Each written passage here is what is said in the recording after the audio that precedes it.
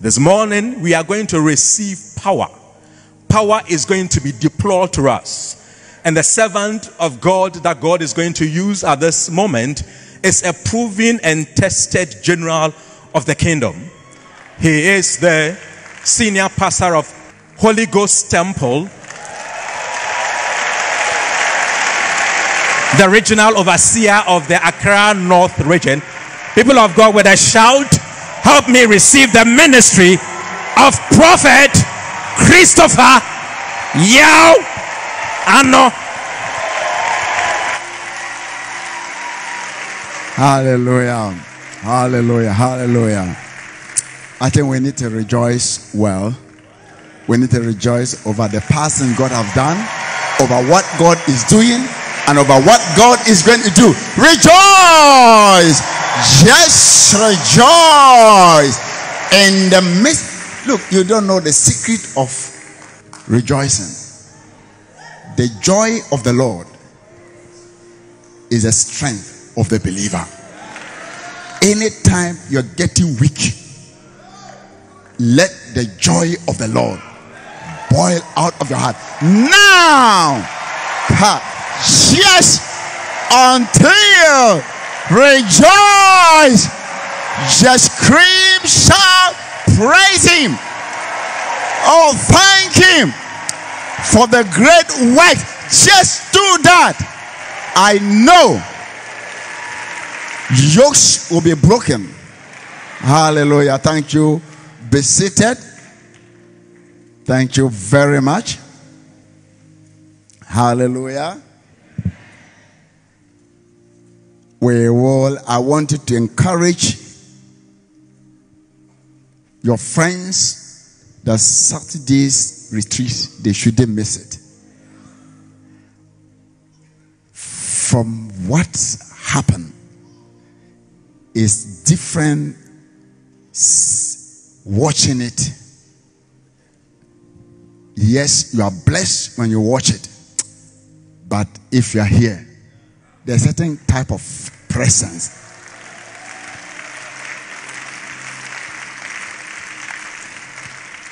So, as much as you can, don't and never miss these meetings. I will continue uh, with what I started last week. And last, last week I started uh, with Ezekiel who was taken into the spirit. And God showed him a hopeless situation. God put a question to him and asked him, Can this leave? Meanwhile, God have his own answer. And he says, God, you have the answer. And God showed him how to bring that uh, the answer to pass. It is through the prophetic word. He said, then prophesy. After he did that, something great happened. And what then happened was that the bones became a great army. Then I will read from verse I will read from verse 4 verse 4. He says, Again, he said to me, Prophesy on these bones. For my time, I will not just go on, I will just read the 11, the few, the last part to the 14. Uh, uh, he said, the 11, he said, after it became a, an army, the Lord said, Then he said to me, Son of man, these bones are the whole house of Israel. They indeed say, Our bones are dry, our hope is lost, and we ourselves are cut off. Verse 12 Listen, therefore, prophesy and say to them, Thus says the Lord God, Behold, O my people, I will open your graves and cause you to come out from your graves and bring you into the land of Israel, then you shall know that I am the Lord. When I have opened your graves, O my people, and brought you up from my, your graves, I will put my spirit in you and you shall live, and I will place you in your own land. Then you shall know that I am the Lord your God. The Lord has spoken it and performed it, says the Lord. Hallelujah. It is great, and he asking to prophesy again, and there are six things I would like us to know, which I believe that God want to uh, uh, do. He said, I will open your graves and I will cause you to rise up. Number one, I will open your graves. Number two, I will cause you to rise up from your graves. Number three, I will bring you into the land of Israel. Number four, I will put my spirit in you. Number five, you shall live. And number six, I will place in you, in your hand, uh, I will place you in your own land. Hallelujah. And that is what God is going to do for all of us. He says He's going to open your graves. A grave is a place where dead bodies are buried, isn't it?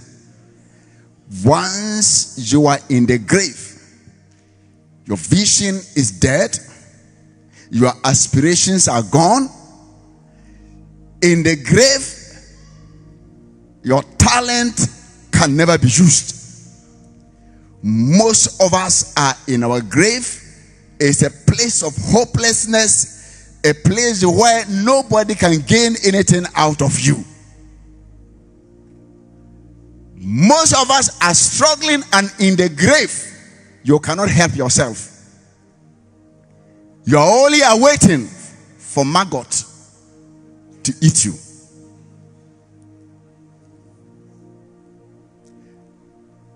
God says that I will bring you out of your grave.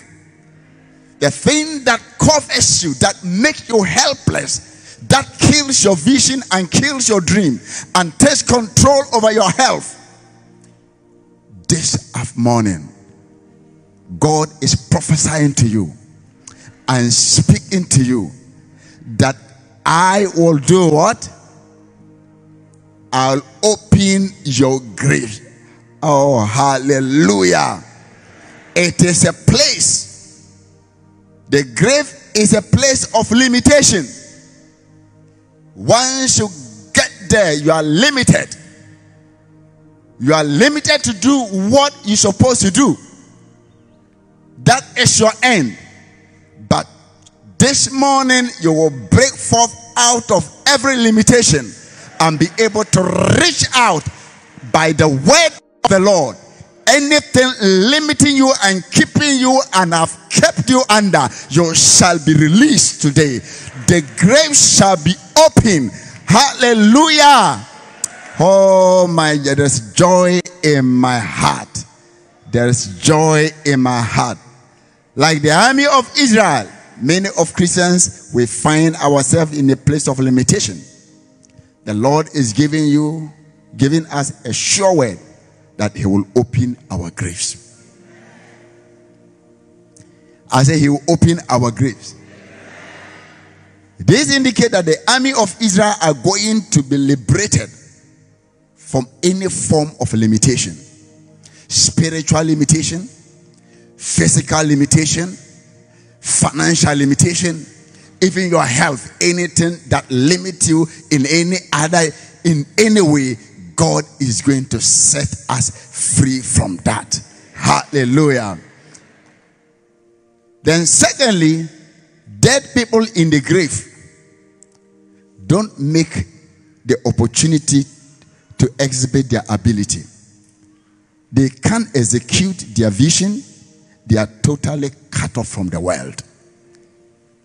If you are cut off from this world, the wealth of this world, the things of the what you ought to get today, you will come out of your grave. The grave is open. The second prophecy, I love the second prophecy.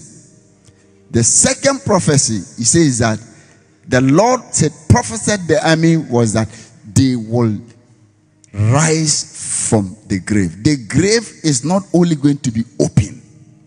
If it is open and you are still there, it is nothing. You will, the limitation will be taken off your hand and you will rise up. You will rise up from, I'm speaking to somebody who have been kept under certain limitation. The limitation, the lead is taken out and now you are going to rise up. You are going to rise up from where you are to a higher place. Look, within these 40 days, men and women, we are going to rise up. Whatsoever keeps us under, we will rise up. Hallelujah. You will rise up from your marriage type problem. You will rise up from the sin that holds you. You will rise up for the things that keeps you under control. You are now going to rise up. Hallelujah. Oh, these prophetic words are great and I love them. In this season of our 40 days of prayer and fast and fasting, the word of the Lord to us is that we will rise up again. Look, if you've been condemned, if you've been just put on the shelf, off the shelf, today your God attention is coming upon you. You will rise up again. The Spirit of the Lord is speaking that men and women are going to rise up. In this season, it will be a season of a new beginning. It will be a season of a fresh start. No matter how you have failed, God says you will rise up again. Your businesses might have collapsed, but God says you will rise up again. Your marriage might have collapsed. God said you will rise up again. Don't give up. God is bringing the word of hope to you. The Spirit of the Lord is speaking. Doors are going to be open and you will rise up again. As individual, we are going to rise up again. As a church, we will rise up again. Businessmen, you shall rise up again. In every nation, any place, our country shall rise up again the word of the Lord says in Isaiah 60 verse 1 of 3 that arise, shine, for your light has come, and the glory of the Lord has risen upon you. For behold, darkness shall cover the earth, and take darkness the people, but the Lord will arise upon you, and his glory will be seen upon you and nations shall come to your light, and kings to the brightness of your rising. This condition seems to be what we are going through. For behold, darkness shall cover the earth as if the entire world, something is happening everywhere. As if there are some forces that is attacking all nations. Darkness, one after the other. Things are becoming as if, how can we come out of this situation? You look around as if you can't come out. You don't see your way. We are confused. Total darkness. But there is a solution in time like this, the church is the one that will lighten the area. I prophesy unto you that your light shall appear in darkness, even if it is thick and you can't see through. Light is coming. Light is coming. Light is coming. Light is coming. The glory of the Lord will be seen upon you. And nations shall come to your light, and kings to the brightness of Horamaka Sabrasta, Leka Sabra Imo Oba of your rising. Kings shall come to you says the Lord. This shall be your portion. Libros Kipaya, Zalakia, and soon, soon, very soon, very soon, very soon, Kabara, Say, Seprosi, very soon, Kabara. The next said, I will bring you into the land of Israel. The land of Israel is a place of life. The graveside is a place of the dead. The land of Israel is referred numerously in the Bible that a place that flows with milk and honey. God is bringing you that place in the midst of darkness, hardship, and difficulties. See, most of the time, the prophetic word comes to change situations. It doesn't look at the situation before God speaks. Sometimes God sees the opposite and he speaks what can change the opposite. So, this time, anytime you are feeling that things are difficult, it means that God wants to use you to do something. Opportunities are coming. Hokapa. That land, the reason why is a place you are going to flourish. Plant will flourish there, the soil will be good. The land is a fertile land. You reap when you sow. There are places when you reap, you don't sow. You don't, when you sow, you don't reap. You put in and put in. But this land where God is bringing us, it's like a fertile land. Everything grows green and fresh there. This is your time. Then, quickly, the and the Lord in this one season, the Lord is bringing us into a place of prosperity. Oh, you are amen this week. I said, don't look at the condition. When I'm mentioning prosperity, you look at the condition. No. Look at the word. Hallelujah. God is going to place us, bring us into a place of prosperity, a fruitful place, a place of flourishment. He is going to flourish whatever you do. A people of God shall reap in abundance. We shall reap whenever we sow. We shall not lose. We shall no longer labor in vain. The land of Ghana will favor us. The land of America will favor you. The land of Europe will favor you. The land of Asia will favor you. Everywhere you are, where God have put you, that land shall favor you. Favor is resting upon your life. Favor is resting upon your life. Grace is resting upon your life. Oh, because the Spirit of the Lord is upon you. Yes. And He has anointed you to make it in that area. This is the word of the Lord unto you. The fifth, ha, hallelujah, very soon. The fifth prophecy, you shall live. Wow. He said, What? Tell somebody, I shall live. Tell yourself, speak to yourself now that I shall live.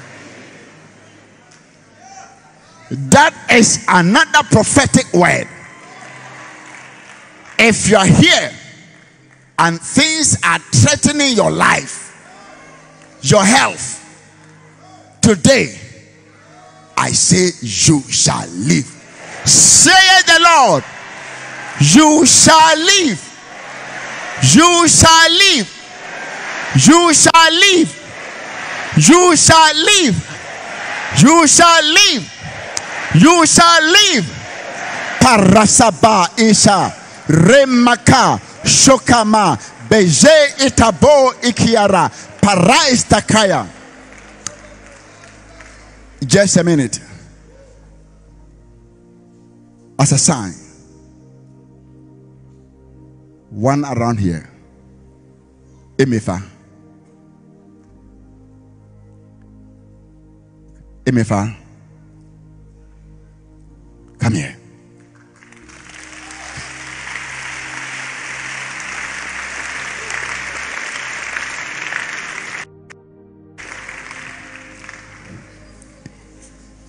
Come. You are three.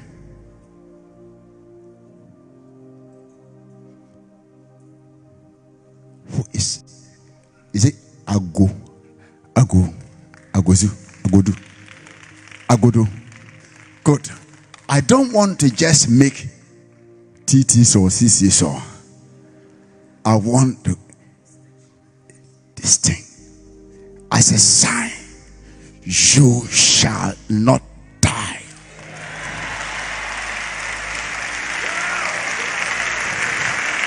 You are afraid your life will end.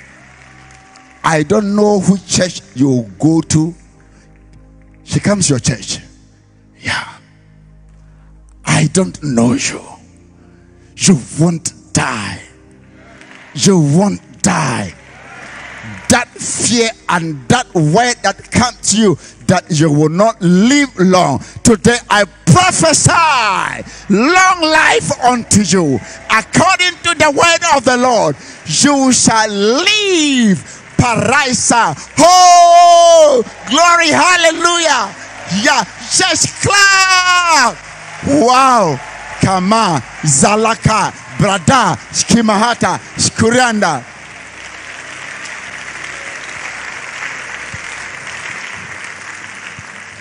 The two ladies, take your miracle. It is yours too, according to the word of the Lord. Amen and amen. Thank you. This is part of it. Hallelujah. It covers a lot of people. It takes a lot of people. Those who fear their businesses will die. Those who fear the future. Today I prophesy unto you that you shall live. You shall live. You shall live. You shall live. You shall live.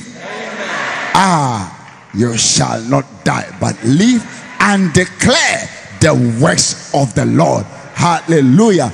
Today I am taking it in a different angle. And the next time I'm seeing people.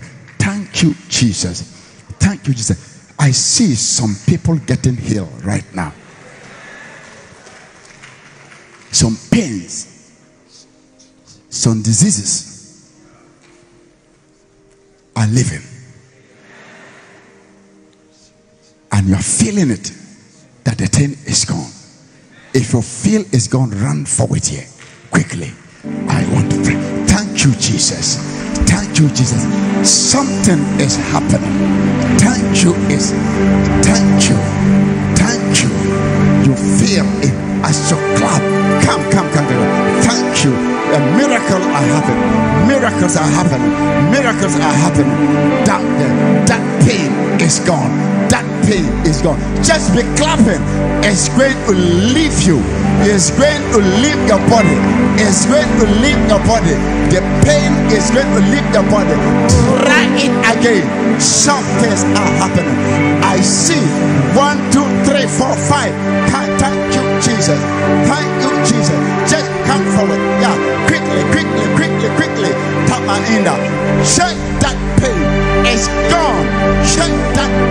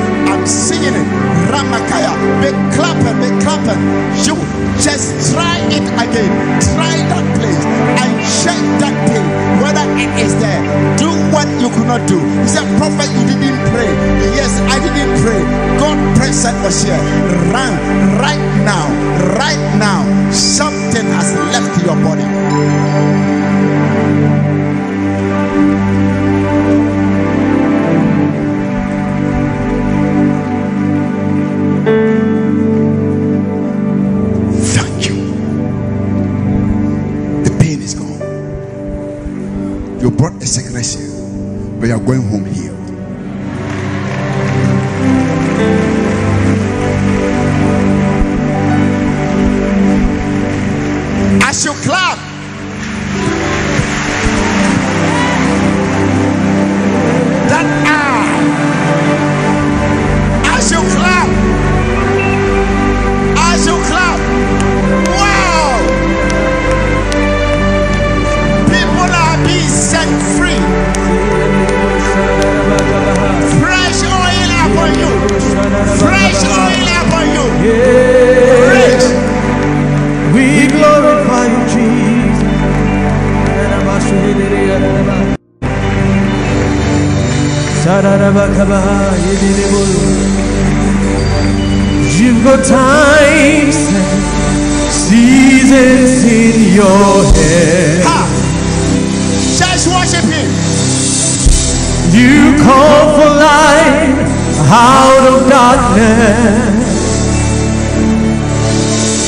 You don't need a man to be the God you are.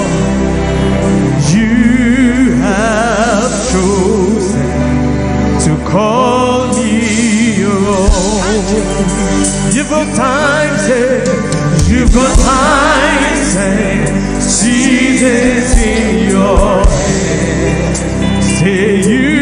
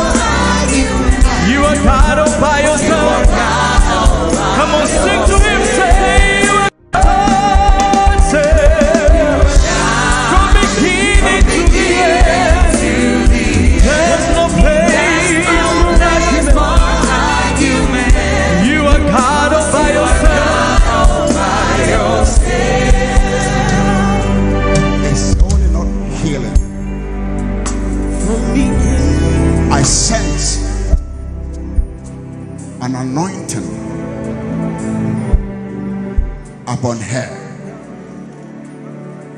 The Lord shall fight this battle for you. The prophetic oil which you desire. Did you desire it? What does it do? There's an oil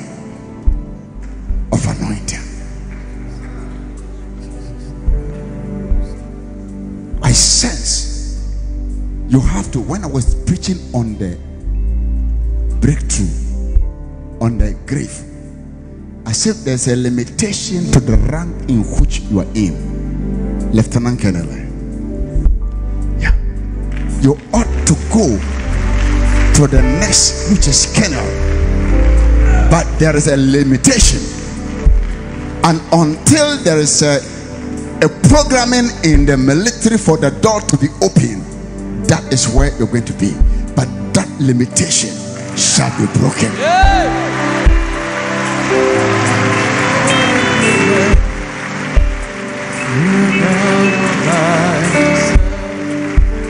Oh, you You are God from beginning to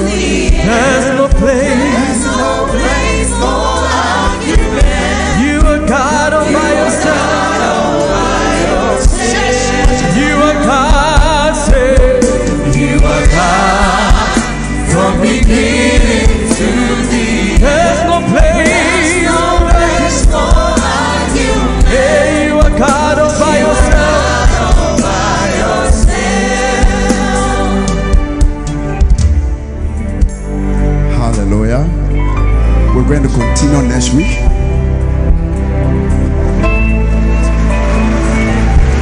But before I sit down, what was wrong with you? You were sick. You came with a sickness. Where is the sickness? It's gone. Did anybody pray for you? Go and tell other people what God have done for you. Go. It is. You who have seen it, go and tell other people that just coming to sit in the presence and at such a meeting, you'll never go the same. God bless you.